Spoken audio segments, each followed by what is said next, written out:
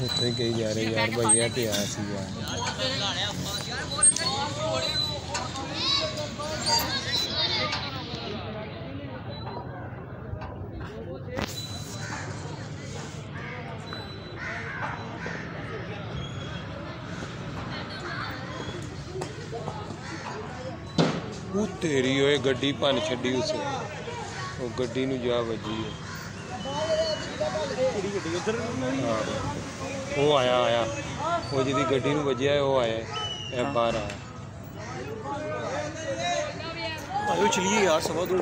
आपने हमारा channel subscribe नहीं किया तो सब्सक्राइब कर दें और बेल आइकन के बटन को प्रेस कर दें ताकि आने वाली हर नोटिफिकेशन आपको टाइमली मिलती रहे